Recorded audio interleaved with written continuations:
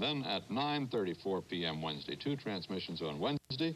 Uh, they'll be in their third revolution around the moon, and we'll see the moon from 69 miles up in color although, as they point out, the color is pretty gray of the moon itself. But we may see the Earth those spectacular pictures, remember, uh, from uh, Apollo 8 uh, of uh, the Earth rising on the moon's horizon. We may get a picture like that.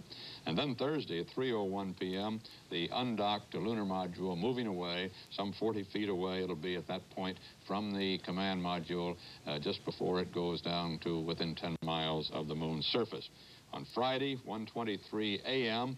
Uh, for those of you who are up, Stafford and Cernan will be back in the command module, and we'll get some pictures of them as they have returned from that uh, near moon surface and as they are back in the command module on its 17th revolution of the moon. On Friday, 7.08 p.m. in their 26th revolution of the moon, and then Saturday at 6.33 a.m., 25 minutes after they have started back toward Earth and are still pretty close to the moon, so we ought to get some pretty good moon pictures from that one. At 9.23 p.m. on Saturday, Saturday night, not quite halfway between the moon and Earth, some more pictures of, uh, undoubtedly, of the Earth. At that point, they'll be about 170,000 nautical miles from the Earth then.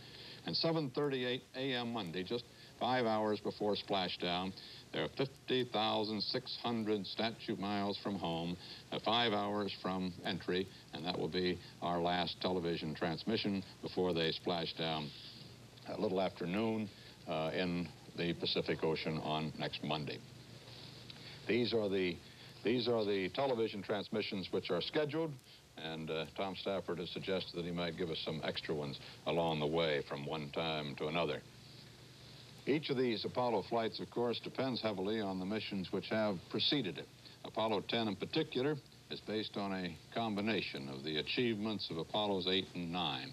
And David Schoumacher has a review of the lessons NASA officials learned from those two flights. David? You don't have to be an expert on spaceflight to draw at least one conclusion from the last mission. Something should be done about recovery techniques. That was more or less the way those in charge put it afterwards. This seemed a primitive conclusion to an otherwise sophisticated flight. All the more embarrassing because the television audience saw it in living color on a zoom lens. The astronauts, used to taking their dunkings in private, were not particularly concerned. Tom Stafford and his crew have been studying other aspects of the last two Apollo flights for their own mission. Well, we've been briefed by the whole crew uh, from uh, the lunar mission and what they saw. Also, we've been briefed by the Apollo 9 crew on the performance of the command module and the LEM. And uh, we put all these together, and again, we've taken segments of each one and integrated those into what we consider the final operational lunar landing mission. There is less interaction between the flight crews than might be imagined. The workload in preparing for a mission is so heavy and so much travel is involved, there is not much time for the astronauts to sit around talking to their colleagues who've already flown. Beyond that, the missions themselves are so thoroughly planned that surprises almost never occur. Even after his momentous flight around the moon, Frank Borman was unable to return with a major piece of unexpected information. From an engineering standpoint, I think the, the thing that re, that gave me the greatest confidence was the fact that we lost communication, radio communication with the Earth at the exact second it had been predicted when we went behind the moon for the first time. So I knew they knew where we were then. It was so well planned and so well figured out. I don't know really how it happened as well as it did. It was just that there were no surprises. It was sort of like, ho hum, this is the way we thought it'd be. The essential fact about Borman's flight, of course, was that the moon was there when he got there. Originally, flying to the moon had involved terribly complicated mathematics, but by the time of Apollo 8, the navigational problem was in hand. Apollo 8 did, however, reveal a sleep problem, which has been solved, and a sickness problem, which is not. From now on, the astronauts will sleep at the same time instead of in ships. The solution to the sickness problem is not that simple. There are theories, but no real diagnosis. Apollo 8 also revealed that the moon is not a very pretty place further proving, according to the critics, that we shouldn't bother going there. Nevertheless, the next flight, Apollo 9, took off on schedule. And after allowing time for his stomach to settle down, Rusty Schweickart took a spacewalk. Now for a review. Oh, very pretty. Things are still falling out up there. What are you doing, throwing everything overboard? Extravehicular activity may seem to be a stunt, but it isn't really. Schweickart was making an essential, in fact, the only checkout of the suit the astronauts will wear when they set foot on the moon. I'm happy to report that everything worked just beautifully. The, the total, the portable life support system uh, provided very good cooling. I was comfortable the whole time. Uh, moving up and down the handrail and looking at the control required to transfer from one vehicle to the other, it was a pleasant surprise to me that, uh, that this was far easier in flight than it had been in any of the simulations on the ground. After the mission of Apollo 9, officials could feel they had successfully tested the three spacecraft needed for the flight to the moon. The command ship, the spacesuit, which actually is a kind of miniature spacecraft, and the lunar module, the Spider. The LEM had been the major question mark in the schedule for several years, and it was up to Jim McDivitt and his crew to be sure it worked, the LEM and the rendezvous technique. By and large, the spacecraft perform in an outstanding manner, I think much better than many people expected. I would also like to say that the procedures that we used were as near perfect as anything I could possibly imagine.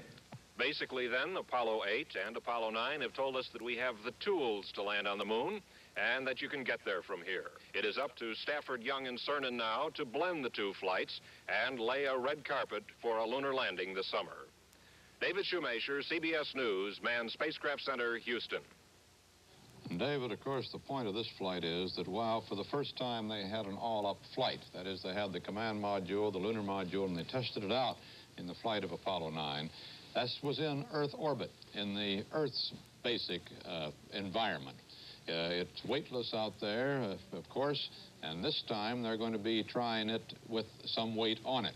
They're going to be in the moon's gravity, down to 10 uh, to 50,000 feet, within 10 miles of the moon's surface. Gravity is going to be acting upon the lunar module. It's going to have to perform in a uh, gravity circumstance in the lunar environment, and that is considerably different than the Earth orbit environment. This will be a crucial test. It's also just the second test of the all-up Apollo command and lunar module ships uh, as it is. Furthermore, the lunar module is going to have to test out and not only the descent stage getting down to this point of just 10 miles above the moon's surface, but then for the first time, which was not tested on the, uh, on the Apollo 9 flight, the ascent stage is going to fire away from the descent stage in the same manner as it would if the descent stage were on the moon's surface. And it, that fire in the hole, as it's called, as they are still joined together, they blast off uh, to separate rather than just drifting apart. It'll be the first time that's tested, and that just 11 miles over the moon. So uh, this is a tricky flight. There's no question about it. Everyone in the space program agrees that this is the trickiest yet and that they get trickier all the time. 11 will, of course, be the ultimate. Uh, but this one is uh, as difficult as any flight that has been flown, but we've got the most experienced crew we've ever had aboard, too a total of five uh, space flights uh, between the three astronauts, two each for Young and Stafford and one for Cernan. And Cernan uh, is experienced a spacewalker. He spent two hours and 10 minutes out of Apollo 9, uh, Gemini 9, with Stafford as his command pilot. They'd flown together before, and the three of them have been training together for almost two years for this flight. Bruce Morton uh, is at the Manned Spacecraft Center in Houston. And Bruce, I imagine that they were pretty pleased down there with the, the results of that color television picture, weren't they?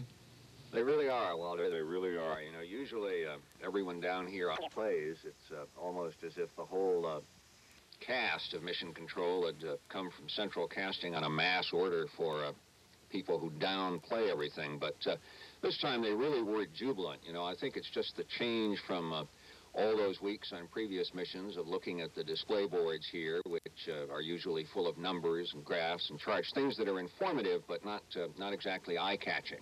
And you could just feel the mood of this place uh, lift when those color pictures came on. They had a demonstration here a couple of days ago, uh, the camera down here, and it worked very well on the ground, but of course nobody was really sure just how well it would work in space. It did, uh, it did better than, uh, than anybody could have hoped for.